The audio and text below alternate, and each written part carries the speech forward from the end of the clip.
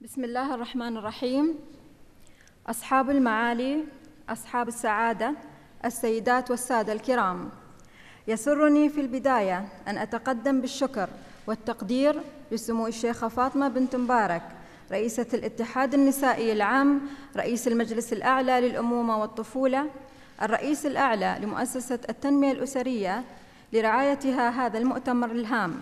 ولكلمتها المباركة التي ألقاها بالنيابة عن سموها معالي الشيخ نهيان بن مبارك النهيان وزير التسامح. إن التعاون الوثيق القائم بين الاتحاد النسائي العام في دولة الإمارات ومؤسسة المرأة في الأمن الدولي ومؤسسة ترنز للبحوث والاستشارات له أهمية في إثراء مناقشتنا حول المواضيع التي سيبحثها المؤتمر خاصة وأن خبراء مهمين في السلام والأمن من جميع أنحاء العالم يشاركوننا هذا المؤتمر بأبحاث وأوراق عمل هامة. ولهذا فإن المؤتمر سيكون أكثر أهمية وتأثيراً على مستقبل المرأة في هذا المجال. الحضور الكريم.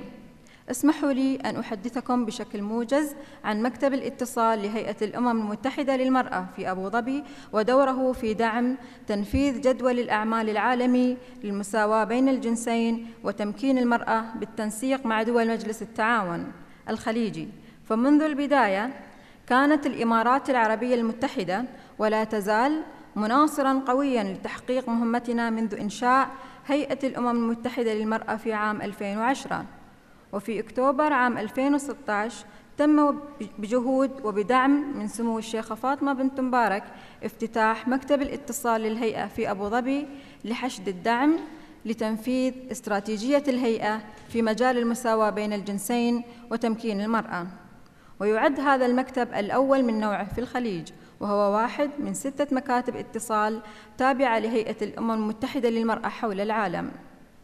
إن الهيئة تؤمن بأهمية تعزيز السلام والأمن وترسيخ التسامح وبناء مجتمعات وأجيال سليمة لضمان مستقبل مستقر ومستدام وهي تعتبر ذلك أولوية رئيسية في جميع برامجها. كما تعتبر هيئة الأمم المتحدة للمرأة مناصر عالمي للنساء والفتيات كونها كيان الأمم المتحدة المسؤول عن تعزيز وتمكين المرأة والمساواة بين الجنسين. وقد تم إنشاؤها من أجل تسريع وتيرة التقدم في تلبية احتياجات النساء والفتيات في جميع أنحاء العالم إلى جانب تقديم الدعم للدول الأعضاء في الأمم المتحدة لوضع معايير عالمية لتحقيق المساواة بين الجنسين. ونعمل أيضا مع المجتمع المدني لضمان تنفيذ هذه المعايير بفعالية. إن مكاتب الاتصال لهيئة الأمم المتحدة للمرأة تركز في عملها على خمسة مجالات ذات أولوية بالنسبة للمرأة وهي تعزيز قيادة المرأة ومشاركتها إنهاء العنف ضد المرأة إشراك المرأة في جميع جوانب عمليات السلام والأمن تعزيز التمكين الاقتصادي للمرأة جعل المساواة بين الجنسين محورا رئيسيا في تخطيط التنمية الوطنية ووضع ميزانيتها. ومن عنوان هذا المؤتمر أبعاد التوازن بين الجنسين في مجال الأمن والسلم الدوليين يتضح لنا أهميته في تحقيق أهداف مهمة على صعيد المرأة وأبرزها إبراز مكانة دولة الإمارات في تعزيز دور المرأة في حفظ السلم والأمن الدوليين زيادة الوعي بالصلة بين مقاربة النوع والأمن والسلام في كل من الحياة السياسية والحياة العملية. توفير فهم أفضل لأبعاد التوازن بين الجنسين في السلم والأمن الدوليين لجمهور عريض من الناس. اعتبار المؤتمر أرضية مناسبة لإطلاق سلسلة من المبادرات والأنشطة المستقبلية الهادفة إلى النهوض بجدول أعمال المرأة والسلام والأمن.